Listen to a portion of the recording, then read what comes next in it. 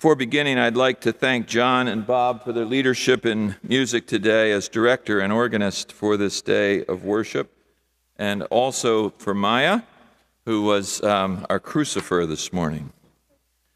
Let us join together in a spirit of prayer.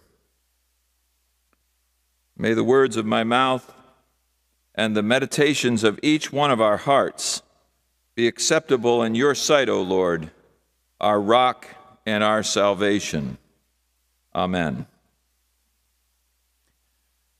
Robert Browne is not a household name to most, even the students of the Protestant Reformation, but he should be.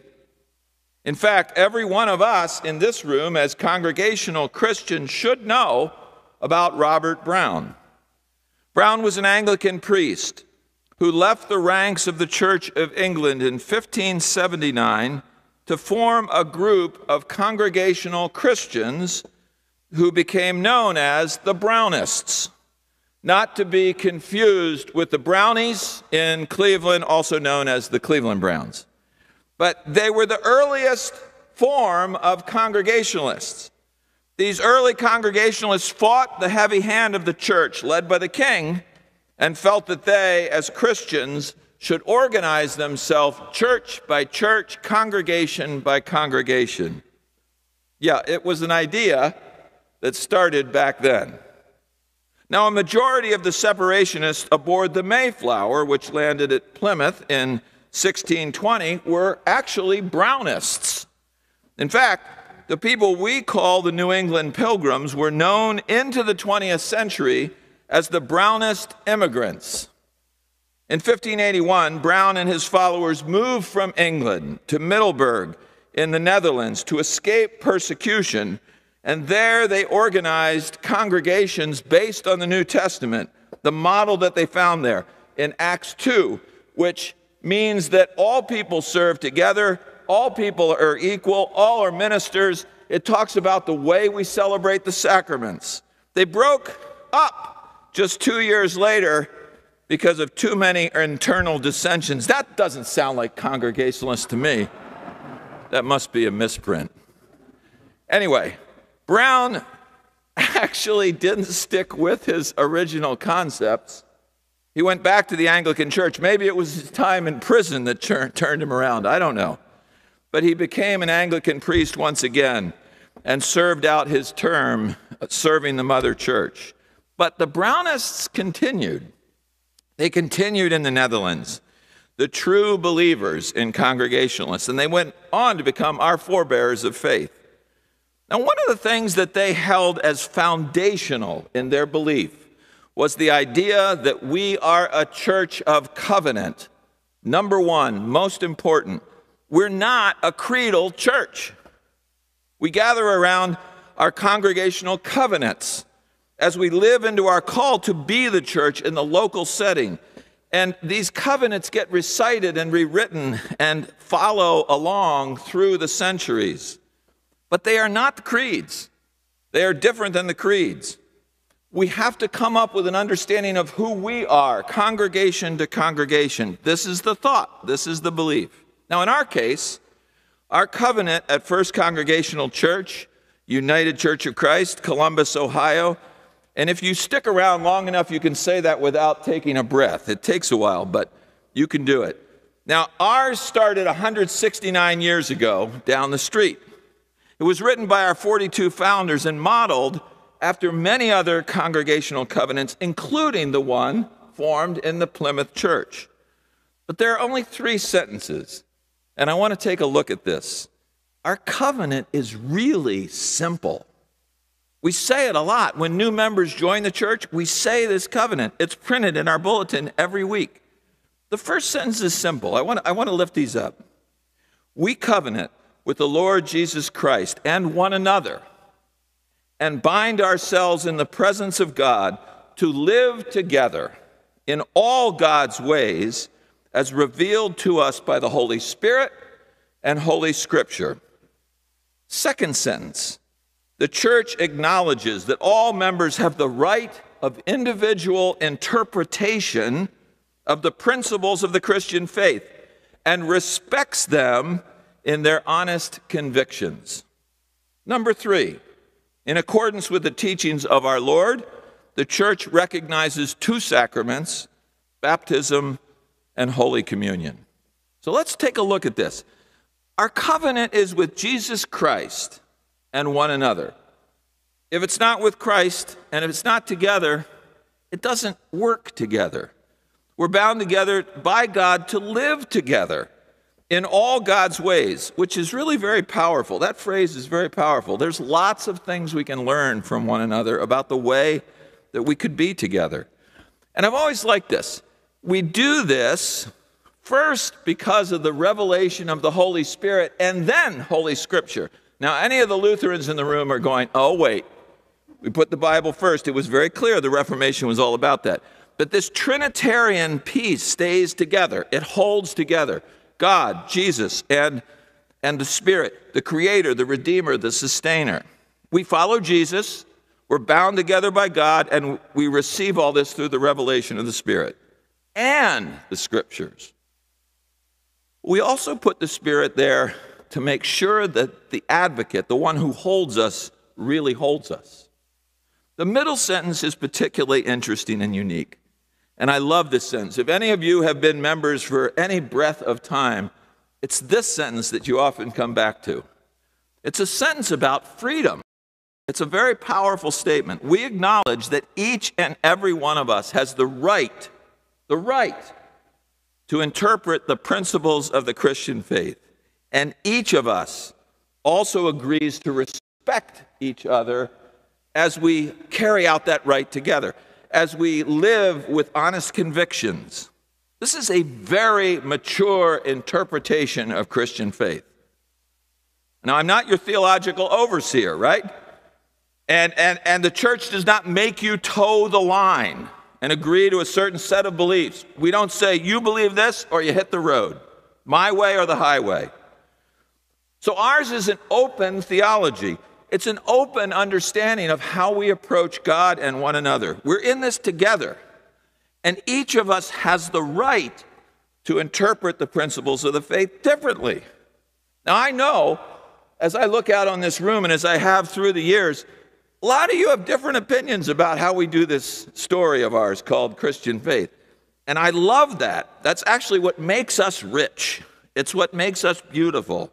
If we were all the same, we were cookie cutter Christians, I wouldn't be here anymore. It would be no fun, right? Someone once told me here in this church that they grew up in a church that was the opposite of First Congregational Church. They said, instead of open and affirming, our church was closed and judgmental. so we, we are a unique place, right? There are a lot more of closed and judgmental churches, I'm afraid to say, than there are of open and affirming churches. So I wonder Here's my question for you today What do you hold to be the principles of your Christian faith? And how do you interpret them? And when you say this, when you say what you believe and show me how you interpret that, do you know what I believe? Or Emily believes, or Mark believes? We need a whole, this is what we need to do, Mr. Mark, a whole education piece on sharing those beliefs. And make room always make room for the other interpretations of the faith. That's what we're in. We're in a covenant that says there's room for all of us. All of us have something to add to this mix. It's very relational. Finally, our covenant wraps up with a very simple sentence.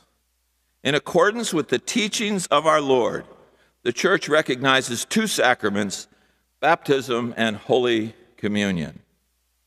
Now, this is truly our statement of faith, if you will. Jesus taught us, actually, I would say commanded us, to do three things. See if you know what they are. He said, baptize, right? Baptize the whole world. He said, when you take the bread, do this in remembrance of me. When you take the cup, drink this in remembrance of me. But he also said something else that we were commanded to do. You know what it was? I do I know you know. Larry, I'm going to call on you. What was it? Love, right? Love one another. That's it. Love one another. Now, we don't wrap that into a sacrament because that's the thing that holds the whole piece together loving one another. The first two represent the spiritual and physical elements of the faith, and the last one is a way of life. Simple and splendid, this covenant of ours. On this Reformation Sunday, we are blessed with a covenant theology that's grounded in Jewish scriptures and blossoms in our life together in Christ. This theology is well spoken of in our passage from Jeremiah, which Lynn read so beautifully. Jeremiah 31 31 to 34 tells the story of the new covenant. Now, Jeremiah is talking to the people of old, right? He wasn't writing this for Christians, although we like to read ourselves into this new covenant. And we said, oh, that's our guy, Jesus, right? It makes sense that we would do that. But he's reminding the people of the old covenant, the Jewish covenants of the past, that they've got to get their act together that they've been too tied and too worried about those tablets of theirs with the Ten Commandments. And he's trying to say, God's going to give you something that you'll hang on to forever, and it's going to be written here, here in the heart. And if you can't own something in your heart, then it's really not yours. He says that in all their stumbling around and misinterpretations, They've lost track of what really matters. The heart is what matters. It's the heart that carries the covenant, and it's the law of that heart. It doesn't need to be written on tablets. As I said, it, it, it's inside of you. You have to internalize it, you have to carry it. A deep fidelity with God goes with that covenant. And that covenant is for all of us, for all time, to feel connected with God. The covenant community which emerges in Jeremiah lives in the full knowledge of God. And what is that full knowledge? Well, Jeremiah tells us throughout his writing what it is. In one place, in Jeremiah 22 15, he says, Well, here it is. The full knowledge of God means that you care for people who are poor and needy in your midst. The full knowledge of God means you give everything that you have to others. There are lots of other qualities that point to the full knowledge of God. And one of them that we carry into this season, this stewardship month, is that whole idea of how do we nurture, engage, and encourage one another in the fullness of God's love by living and giving generously.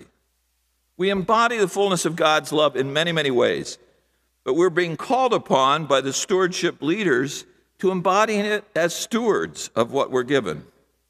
I was asked by someone this past week, how our church puts together its budget each year. And I said, well, we count on the generosity of our members and friends.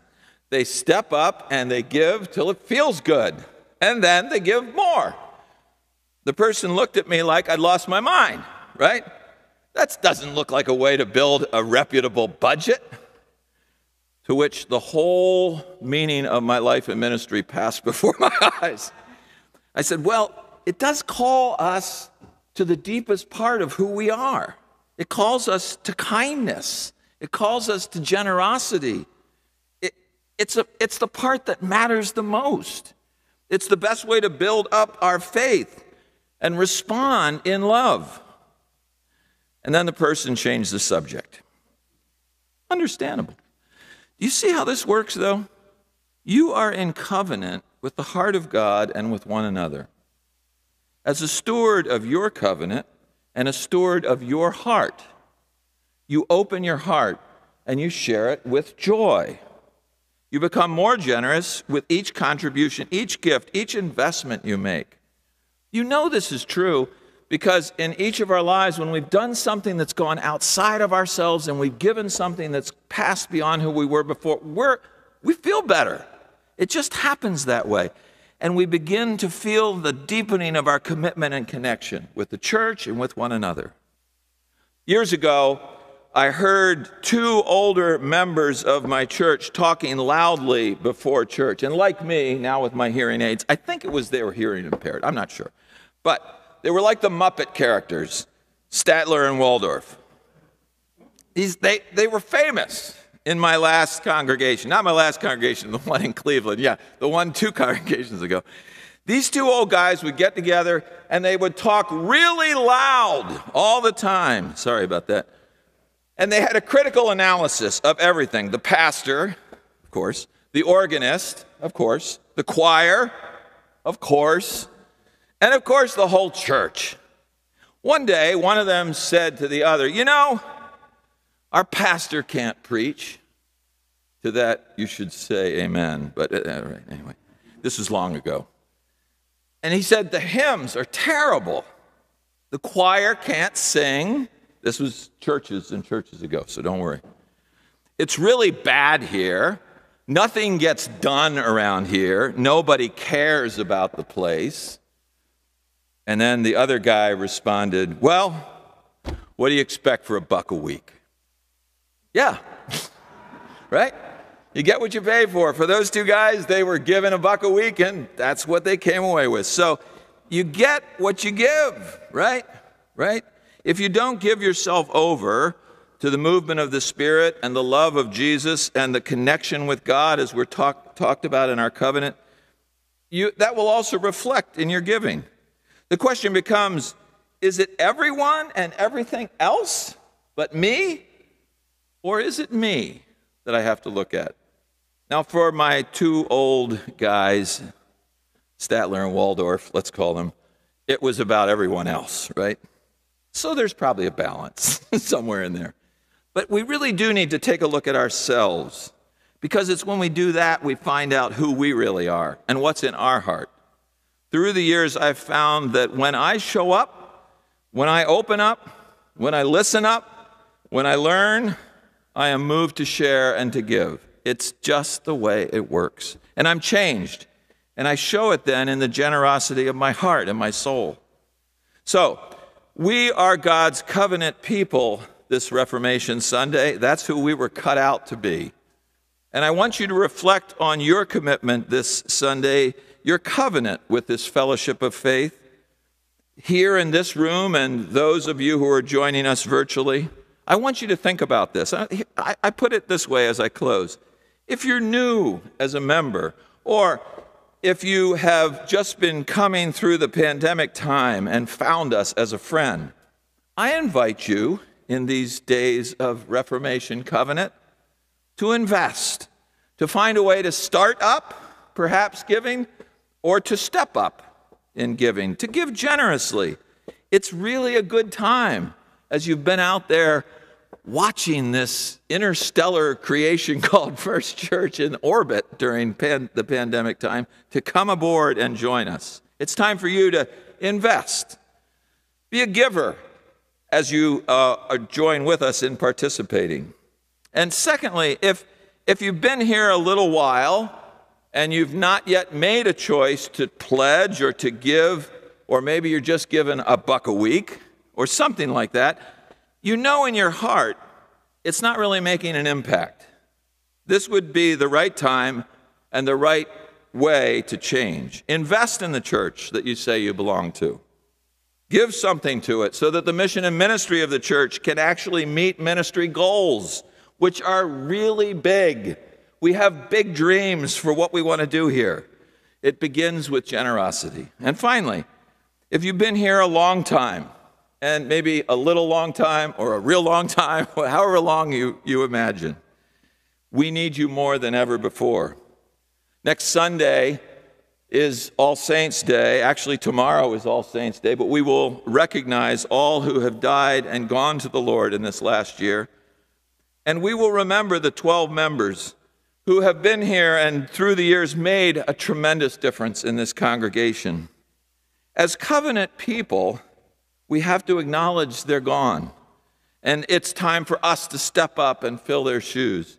I remember a story years ago with Dorothy Cromarty, who truly embodied the widow's mite. She was a hairdresser here in town, and she was all full of love, worked for Faith Mission, served in this church generously. And on the All Saints' Day, following the death of about 10 of her friends, she said, with very small resources on a very fixed income. It's time for me to step up and fill in now that they've gone before me to heaven. Wow. It depends on how you look at things. Now, for those of us who knew and loved Dorothy, you know that's how she looked at life in general, right? That's how she looked at faith in general. But she stepped up. She doubled her pledge that year. And it was the most glorious gift I'd ever seen given to the church. As a covenant people, now is the time for us to step up. In John's gospel today, Jesus declares to those who are listening, You know, the truth will set you free. And he's right. It's true. When, when we hear the truth, when we know the truth, when it comes to us, we become free in it. We know what we've been looking at before might have had elements of the truth, but then it comes clear and it's, it's crystal clear what we need to do. So we no longer stumble around. We no longer wonder who we are or what we are or where we're going. We, we know that it's true that we have to do something different, that we have to step up. I think of that when I think of Robert Browne today. He knew that it wasn't working. This church that had been lost in this time in history. He knew that things had to change. And so he said, I have an idea. Let's return to the New Testament. Let's return to the first Christians and set our model for church just like that. You see, that's so clear.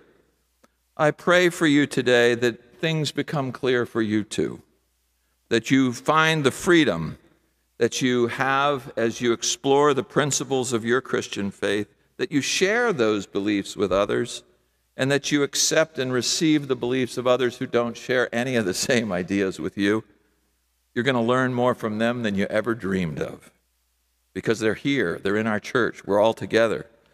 And I pray that once we're grounded, we respect and celebrate one another's convictions, our honest convictions, and hold this faith dear to our hearts.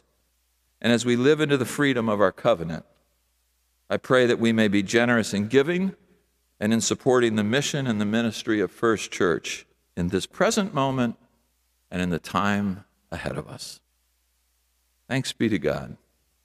Amen.